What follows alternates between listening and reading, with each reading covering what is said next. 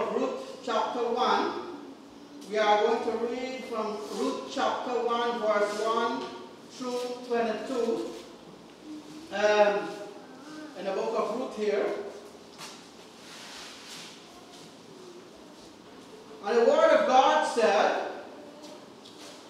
Now it came to pass in the days when the judges ruled that there was a famine in the land, and a certain man of Bethlehem, Judah, went to sojourn or live in the country of Moab, he and his wife and his two sons. And the name of the man was Elimelech, and the name of his wife Naomi, and the name of his two sons Mahlon and Chilion, Ephrathites of uh, Bethlehem, Judah. And they came into the country of Moab and continued there. And Elimelech, Naomi's husband, died, and she was left and her two sons. And they took them wives of the woman of Moab, and the name of the one was Orpah, and the name of the other Ruth, and they, they dwelled there about ten years, and Mahlon and Chilion died also, both of them, and the woman was left of her two sons and her husband. Verse 6. And she arose with her daughter-in-laws that she might return from the country of Moab, for she had heard in the country of Moab how that the Lord had visited his people and given them bread. Wherefore she went forth out of the place where she was, and her two daughters-in-law with her, and they went on the way to return unto the land of Judah. And Naomi said unto her two daughters-in-law, Go, return each of her mothers to her mother's house. The Lord deal kindly with you as ye have dealt with the dead and with me. Verse 9. The Lord grant you that ye may find rest, each of you in the house of her husband. Then she kissed them, and they lifted up their voice and wept. Verse 10. And they said unto her, Surely we will uh, return with thee unto thy people. And Naomi said, Turn again, my daughters, why will you go with me? Are there yet any more sons in my womb that ye may be your husband? Turn again, my daughters, go your way, for I am too old to have an husband. If I should say I have hope, if I uh, should have an husband also tonight, and should also bear sons, would you tarry for them till they were grown? Would you stay for them from having husbands? Nay, my daughters, for it grieveth me much for your sakes, that the hand of the Lord has gone out against me. And they lifted up their voice and wept again, and Orpah kissed uh, her mother-in-law, but Ruth clave unto her.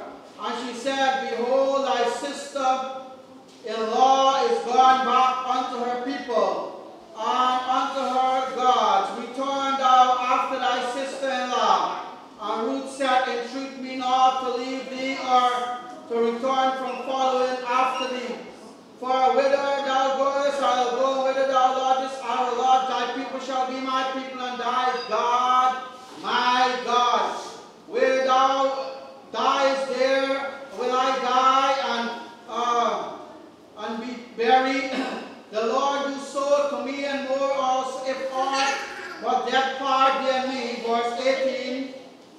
Uh, when she saw that she was steadfastly minded to go with her, then she left speaking unto her. So the two went until they came to Bethlehem. Uh, and it came to pass when they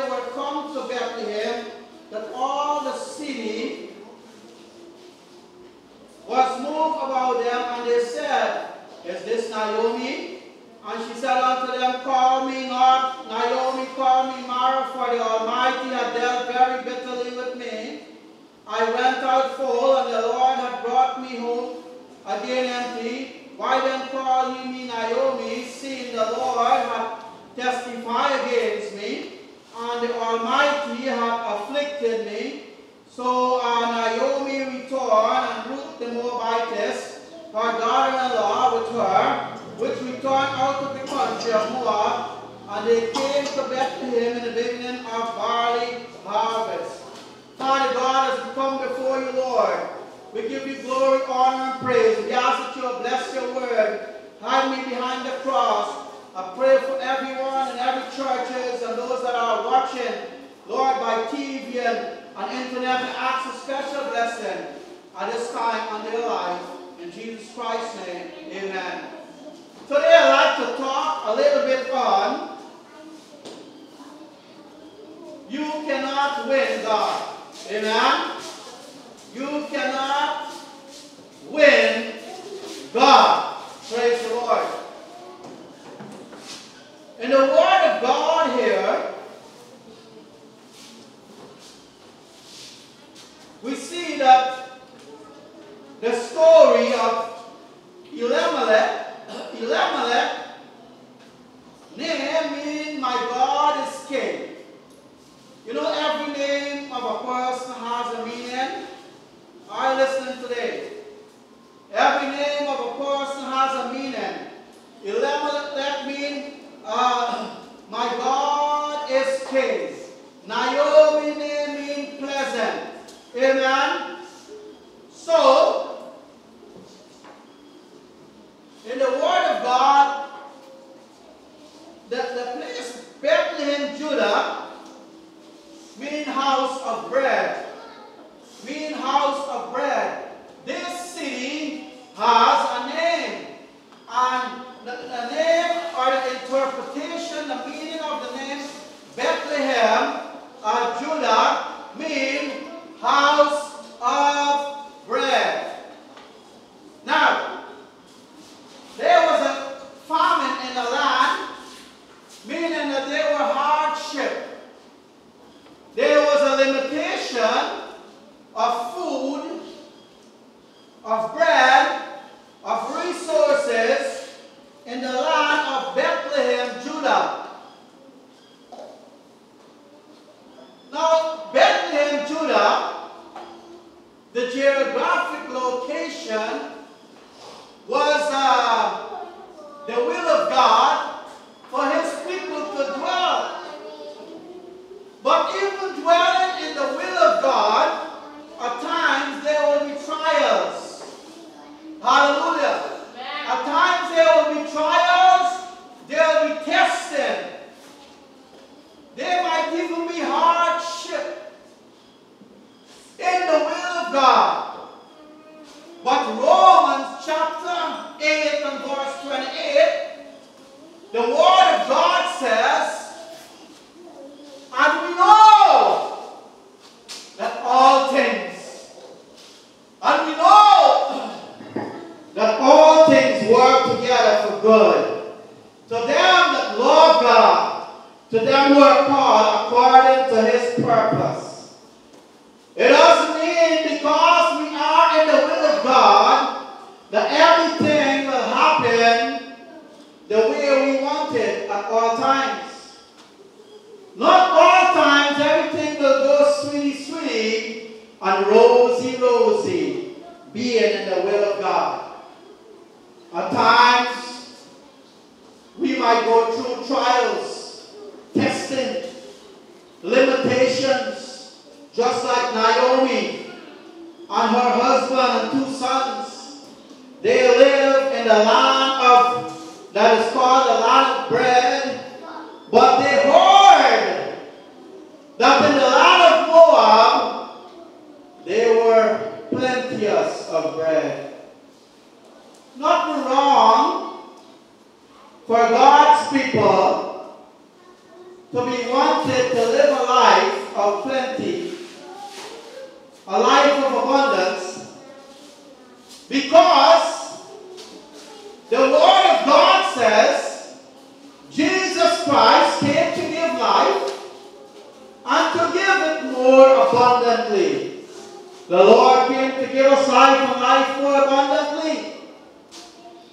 But these people, they were dwelling in the will of God, and they tried to win the economy by fighting against the will of God. Look in the Word of God. Look in the Word of God in Ruth chapter 1. We can never fight against the will of God and win God. Amen. Amen. God is always the winner. The devil is the loser. We sing that song. Jesus is the winner man, the winner man, the winner man. Jesus is the winner man, the winner man for all the time. Satan is the loser man, the loser man, the loser man. Satan is the loser man, the loser man for all the time. Money cannot save somebody's soul. The word of God said, What shall it profit if a man gain the whole world and lose his own soul?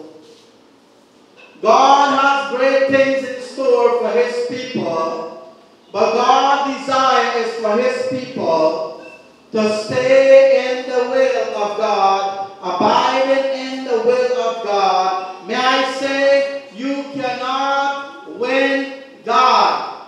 God is always the winner man. God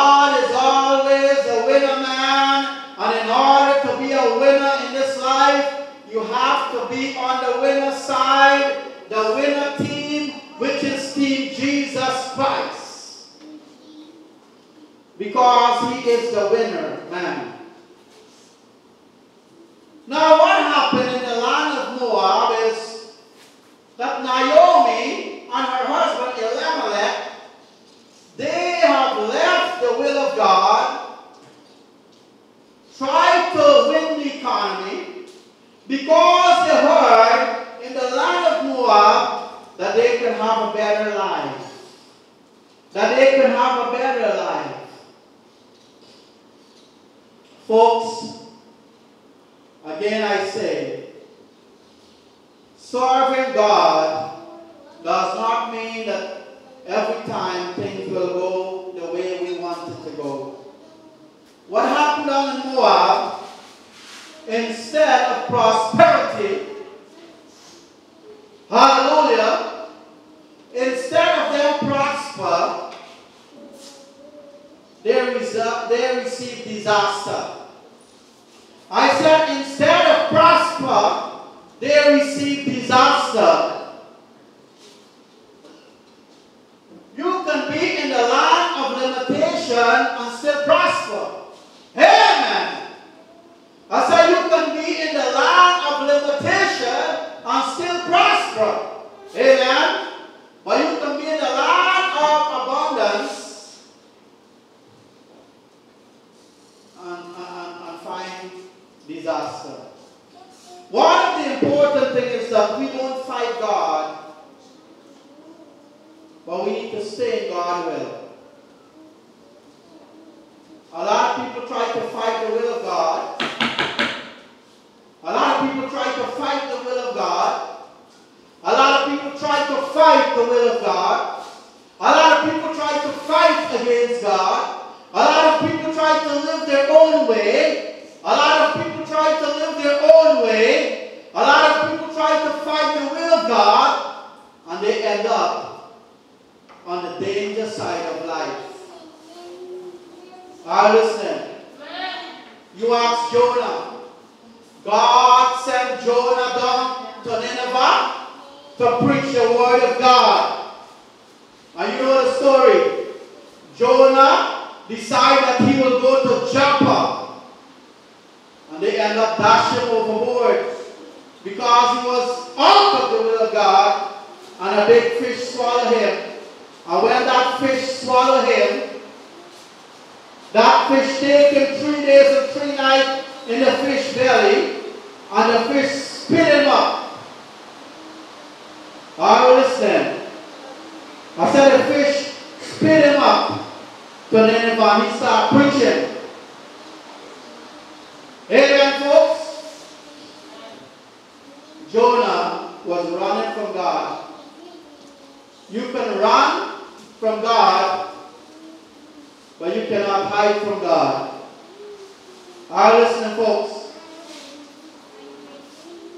You cannot fight God and win.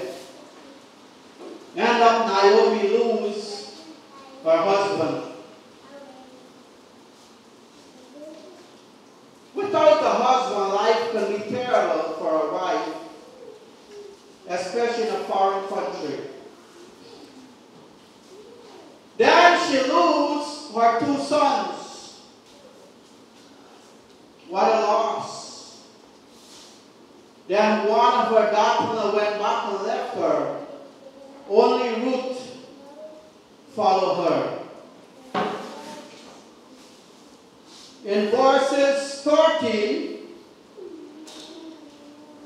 the last part say, Naomi said, The hand of the Lord is gone out against me. You know what that means? That God's judgment came upon the whole of Naomi. Today in this life, God's judgment is upon a lot of people home. Do you know how many murders is happening in Guyana?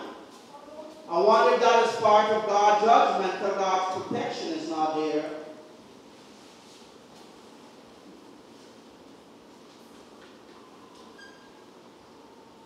The end of God's judgment on earth result in, always result in death. You look right through the Bible where people disobey God and they end up dying. They end up die dead because of disobedience. There was once a story, true story, that this young girl, she grew up in church. Her parents are Christian. She grew up in the house of God.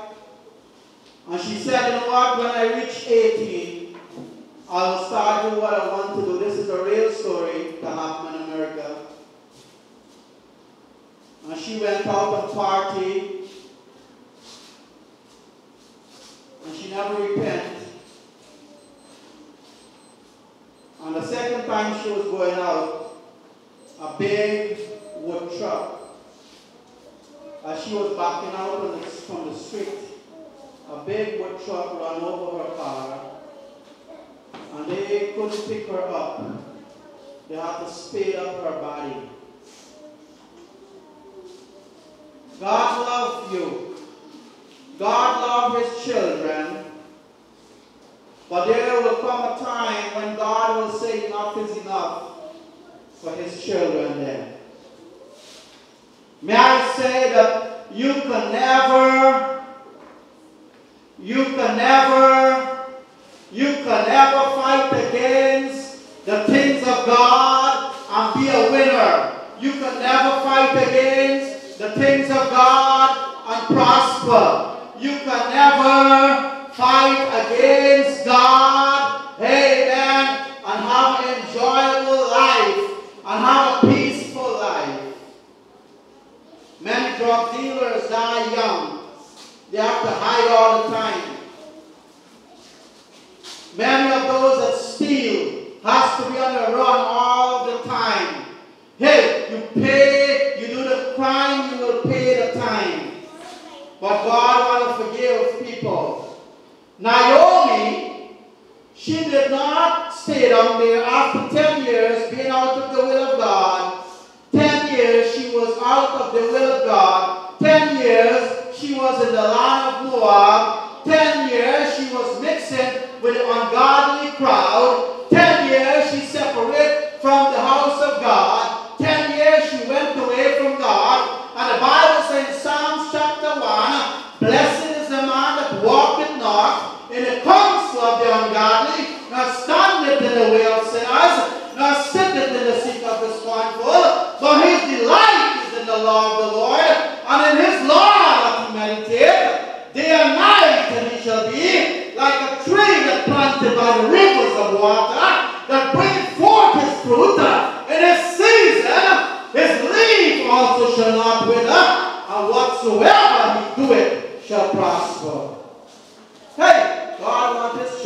Prosper.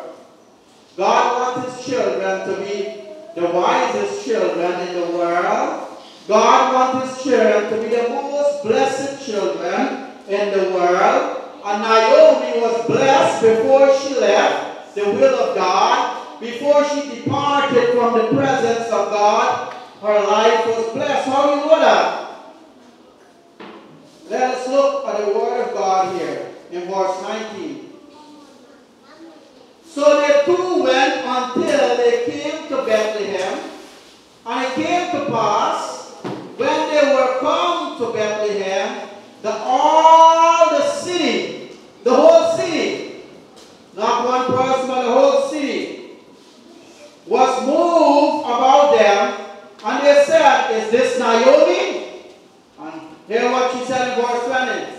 And she said unto them, Call me not Naomi, call me Mara, which means bitter, for the Almighty hath dealt very bitterly with me. I went out full, and the Lord had brought me home empty. You see, she tried to fight, that family tried to fight against the will of God because of the hardship she went away from the will of God, went away from the presence of God, went away from the house of God. And because of that, she lost her husband. God's judgment was upon their lives. And she prospered in the land, in the house of God, in the land of Bethlehem, Judah. She prospered in the will of God. But she, they, they tried to fight against the will of God and went away with the ungodly nation, the Moabites, thinking that they'll have a better life, but they lost everything. They went out full and came in empty. Folks, let me say this today, that God desires for you to stay in His will and never depart from His will. Praise the Lord. Praise the Lord. For those that are watching by TV and internet, you heard a message. You cannot fight against God and win. You cannot choose to live a wicked life and win. You cannot choose to live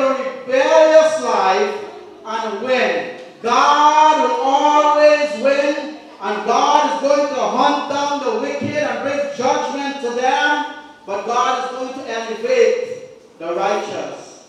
Naomi and her family leave with abundance.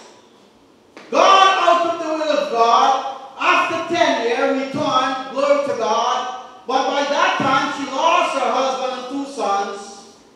But she came back to the will of God. And look what she finds in verse uh, 22. So Naomi returned, and Ruth the Moabites, this, her daughter-in-law with her, which returned out of the country of Moab, and they came to Bethlehem in the beginning, in the beginning of barley harvest. Hallelujah. Let me say, folks, they returned to God. You that are watching by TV, why not return to God right now? I want to pray for you. Maybe you never accept the Lord as Savior and you want to accept Him as your Savior at this moment, why not reach out and let us pray together? Repeat this prayer after me where you are repenting and accepting Jesus. Say after me, Lord Jesus, I come in, I come to you as I am. I ask you to please forgive me for my sins. Please come into my heart and save me and give me eternal life that when I die, heaven will be my home. You said that prayer at this time. Why not give us a call on 691-3101? That's 691-3101. We want to uh, help you start your new life with a Bible study. We want to encourage you. God bless you until next time. Hello friends, my name is Pastor Ram Angad and I'm the pastor of New Testament Baptist Church.